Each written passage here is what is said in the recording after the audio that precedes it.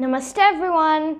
My name is Devi Pratyaksha and today we're going to practice Matsyendra Asana. The benefits of Matsyendra Asana are that it stretches the body and it stretches the abdominal muscles. It is a wonderful exercise for diabetic patients and it makes you flexible. So let's start. For Matsyendra Asana, first you have to stretch out your legs in front of you.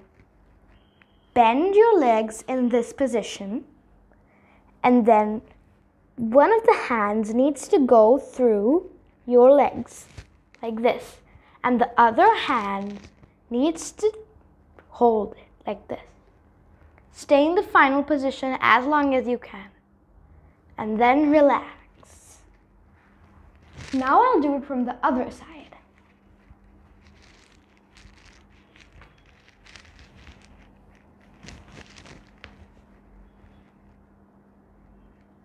Relax.